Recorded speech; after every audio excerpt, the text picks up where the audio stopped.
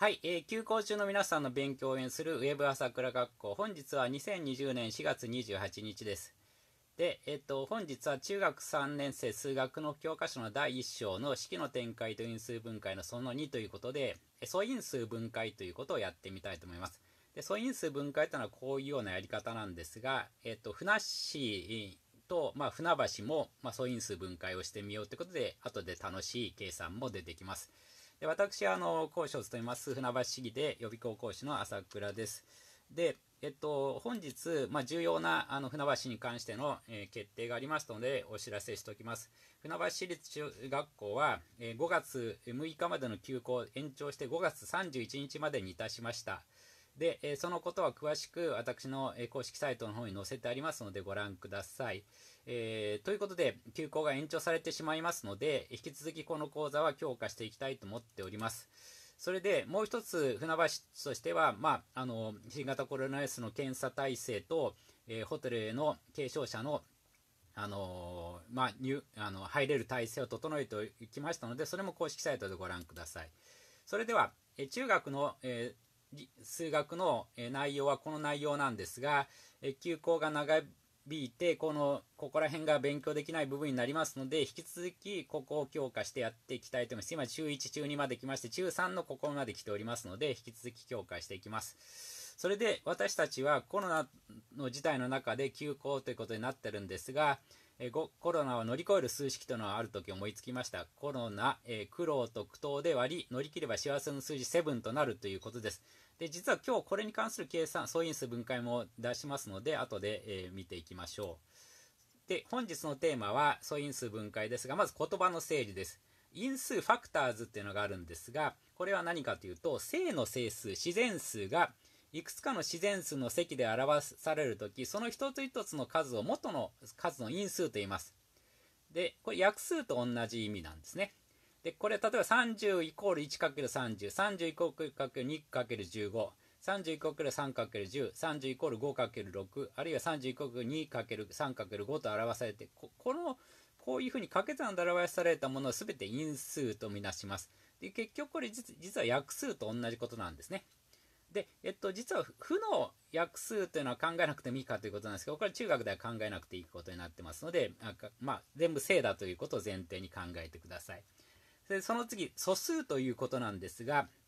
素数は1とそれ自身以外に因数、約数を持たない2以上の自然数です。つまり、えっと、他の数で割れない数ということですね。そうすると2がまずそうですが、まあ、1は含めないことになってまして、えー、2がそうです。それから3もそうですね。で、4は2で割れますから外して5ですね。で、6は2と3で割れますから外して7ということになります。で、そういうふうに見つけていくと、2、3、5、7、11、13、17、19、23、29、31でどんどん無限に続いていくのが素数です。で、素数のことは英語でプライムナンバー、まあ、素朴な数というふうに言います。えー、さて、でこの素数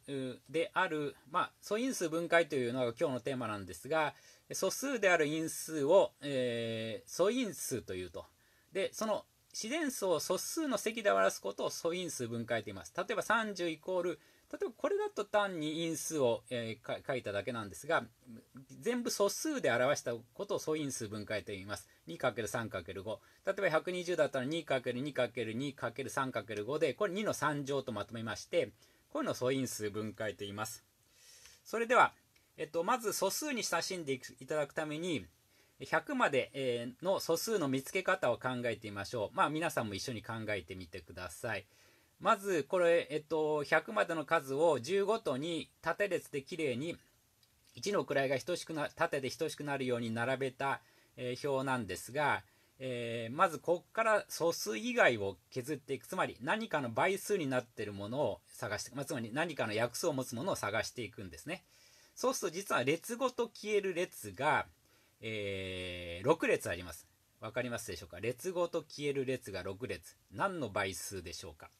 何を約数として持つものかということなんですが、まずここですね。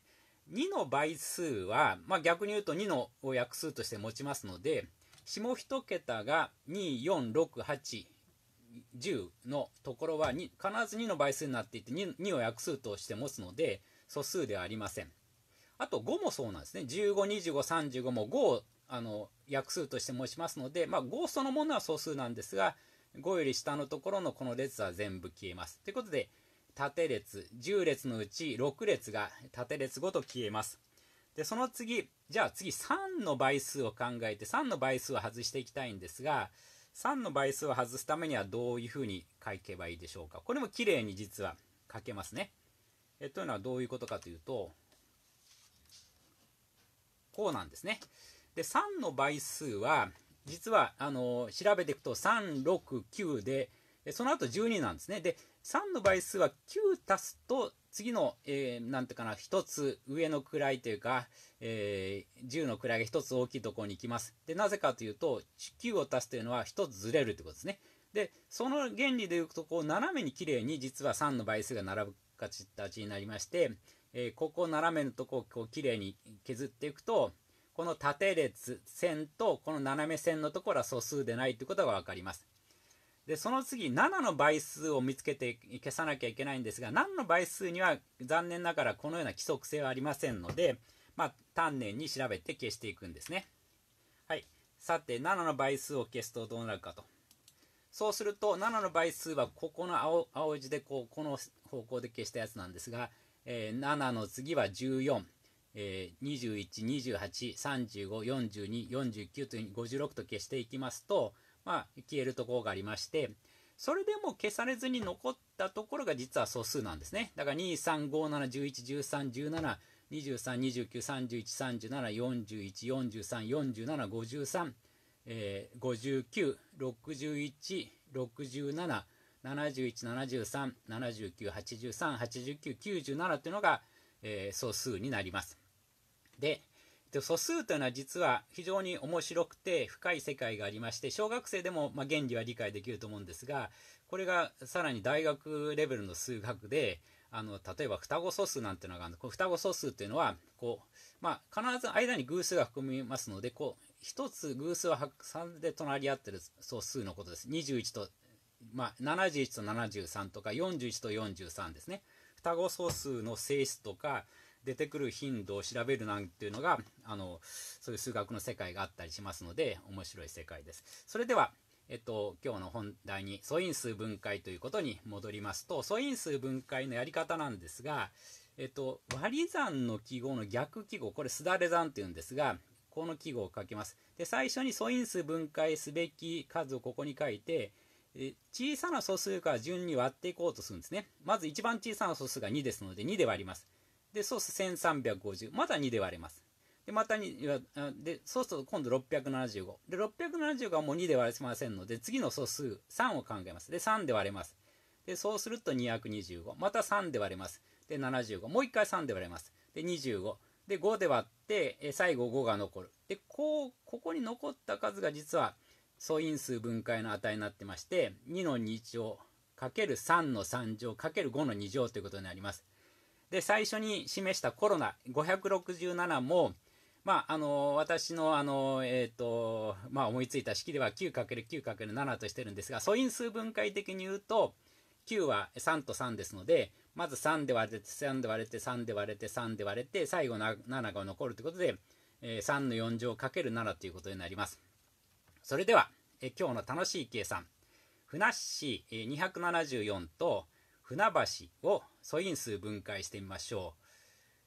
う。でちなみに船橋の船274っていうのは船橋の東側の郵便番号でもありまして、まあ、命名の時にそこまで考えていろいろあの、まあ、つけたんじゃないかなと思いますね。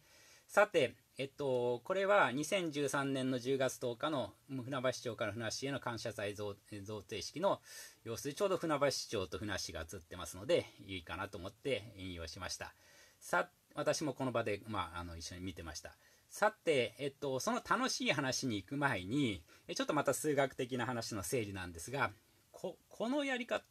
割り算の逆記号を書いて、何か計算するというやり方、小学校でもう一つやったのを覚えてませんでしょうか？えっと、これは小学校の復習で、えー、やっておきたいと思うんですね。あの最小公倍数と最大公約数の求め方という話です。はい。で、これは、ここういうことになります最小公倍数と最大公約数の求め方でまず最大公約数と最小公倍数ということの定義なんですが2つの数、まあ3つの数でもいいんですけど、ともに2つの数を持ってきます。12と18という数を持ってきます。で12の約数は、1、2、3、4、6とあります。で、12自身もありますけど、まあ、えー、あります。で、18の約数は、1、2、3、6、9とありますね。6、9とあります。で、この約数の中で、お互いが共通に持ってるものを公約数って言ってます。1も2も3も共約数です。えで、その公約数の中で最も大きい、えー、数を最大公約数って言ってます。さて、その次、倍数です。倍数というのは、12を2倍、3倍、4倍、5倍、6倍とかけていく数で、12、24、36、48、60、72と、えー、どんどん無限に続いていきます。で18の方も18、36、54、72、まあ、90というふうに、まあ、無限に続いていきますね。で、その無限に続いていくので、勾配数は実は無限にあるんですが、その中で最も小さい勾配数のことを最小勾配数と言います。はい。で、最大公約数と最小勾配数の求め方に、先ほど今日の素因数分解と同じすだれ算というこの割り算の逆記号を使います。じゃあ、これ小学校の復習ですよ。えー、やってみますね。60と72の素因数、あ、えっ、ー、と、最小公倍数、最大公約数の求め方は、えこれ共通の2で割れますね。えそしてまた2で割れます。で、その次3で割れます。で、3で割って5と6になったらもう割れませんので、これで実は2つの数の場合には計算が終わりで、ここの左側に残ったところが最大公約数となります。12ですね。で、確かに、えー、60と72の最大公約数は12ということは、まあ、考えればすぐ分かりますね。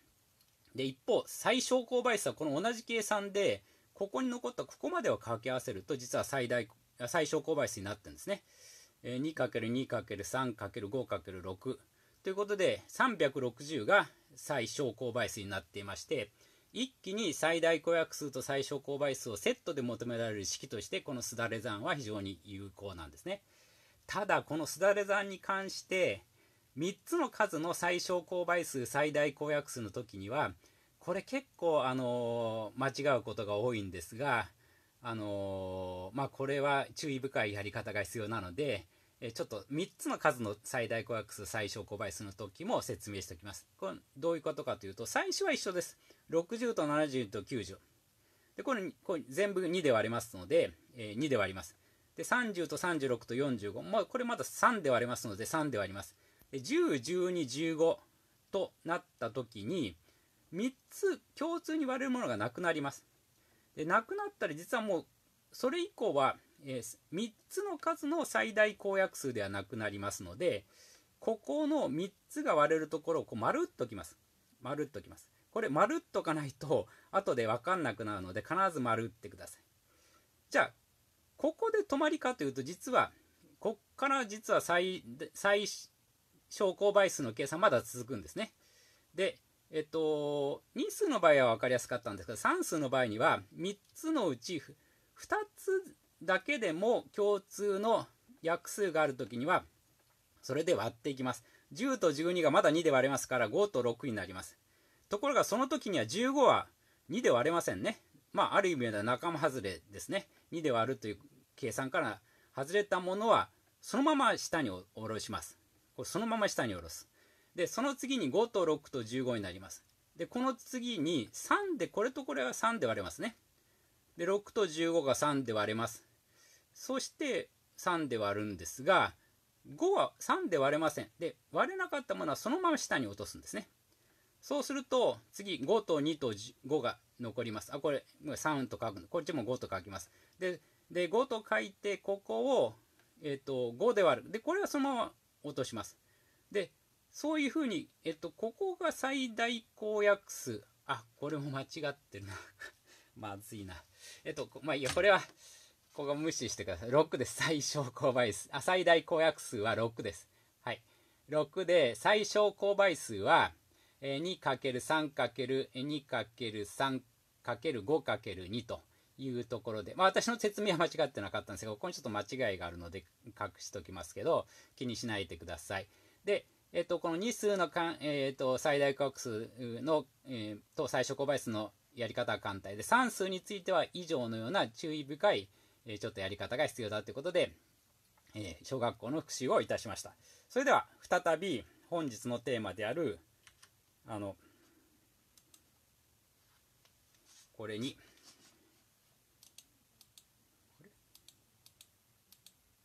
はい、えっと、本日の本題である、あのこの素因数分解をやってみましょう。それでは、えー、YouTube 見てる人人は、せっかくですから計算してからやってください。ふなっし274と船橋を素因数分解でやってみましょう。はい、計算してみてください。で、ちなみに、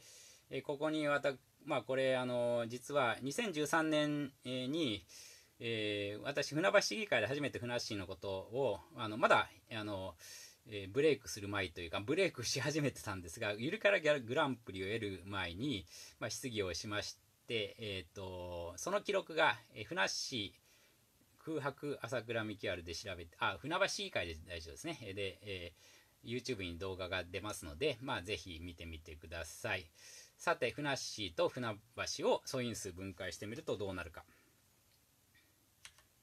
はい。こうですね。ふなっしーは実は素因数分解すると137が実はでっかいけど素数ですので 2×137 で終わりです。2×137 で船橋は結構2784は何回も2で割れるんですね。2で割れましてなんと5回も2で割れます、えーえー、でまあ、つまり32で割れるということですね。でで174になって3で割って、えー、87になって3で割って29が残りまして29は実は総数ですのでこうなります。船橋の、えー、素因数分解 2×137 船橋の素因数分解2の5乗 ×3×29 ということになります。はい、えー、ということで、え本日は、えー、素因数分解に慣れていただきました。で実は素因数分解をテーマにした問題が今年の2020年の、えー、千葉県公立高校入試の第5問に出ております。えー、これはすでに私の YouTube サイトに、えー、翌日の回答速報として動画を作っておりますので、よかったらご,、えご覧いただくと今日の勉強内容がそのまま高校入試問題でも確認できるので、第5問です。2020年の第5問見てみてください。はい、それではご清聴ありがとうございました。